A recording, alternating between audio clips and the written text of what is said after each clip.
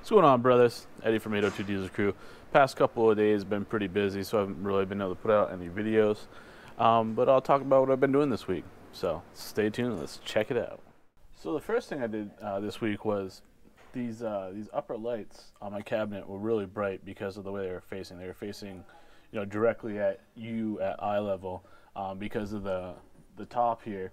You couldn't really have the lights, you know, shining down.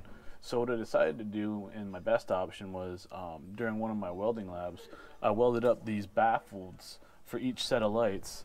Um, we'll get in here and we'll kind of adjust this, dim it down, and you can see it go through the different range. But uh, they work really well to project the, the light down on top of the countertop and not at your eyes. Now I constructed them out of aluminum, uh, welded up the sides of them, and kind of put uh, little notches in for the wires to be able to run, be run through. Um, they came out really well. I'm really pleased with them. They project a lot of light downward, and it really makes the box look a lot more uh, professionally done than the way I had it set up before. I'm not really sure yet if I'm going to be painting those or not. Um, it, it, really matches the the brushed stainless steel, the brushed aluminum, but I'll probably uh, end up painting those and then clearing them at some point but uh, I'm not 100% sure on that or 100% sold on that idea. So here the light's all the way bright. And as you dim them down, you can see how much light is projected or not projected. Um, but I'm really happy with the uh, overall appearance of them. And, uh, you know, I made them the way I wanted them to be. I mean, that's the whole basis of this box was to be able to buy a box for cheap enough where um, it really turned out the way I wanted it to be. Um, you know, with the, the, different lighting features, and I have some other stuff on order for um, the cork board.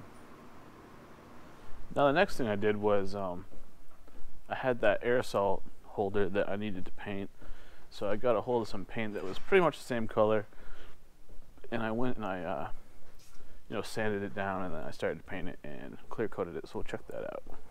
Now, this is just the first coat. I have a clear on it probably putting another coat on it, but uh, right now it appears to be pretty close to the same color.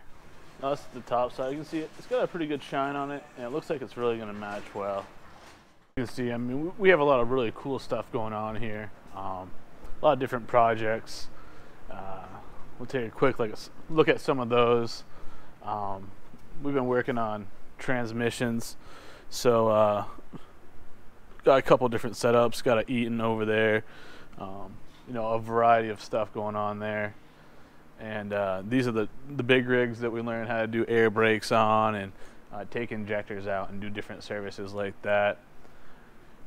Uh, in the back, there's a you know like a big wheeled excavator, and then uh, up forward, we're gonna have more of. Uh, this is where they're doing like hydraulic labs. We get some stuff from Cat- Caterpillar to kind of play with. These are brand new machines.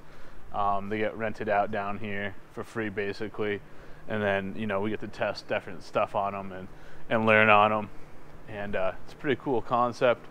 Along with using just like a, a basic um, hydraulic board to learn out how to do flow and all those uh, you know specific things, along with uh, specialty tools such as you know different monitoring systems, uh, gauges, and different setups like that. In the machine shop, we have uh, a small Bridgeport and milling area, but uh, up at the actual college, we have a, a huge, um, you know, machining area, and maybe I'll insert some films in here right after this so you can see that. But it's pretty impressive here at school. All right, brothers, that's all I got today. Um, hope you enjoyed this video. Leave a, a comment down below if you see something that interests you. We can look at it more. And uh, as always, you know, keep it moving forward and uh, have a great day. I'm going to clean up my mess here and then I'm going to see if I can learn how to use Adobe Processor to make this video right now. All right, have a good day.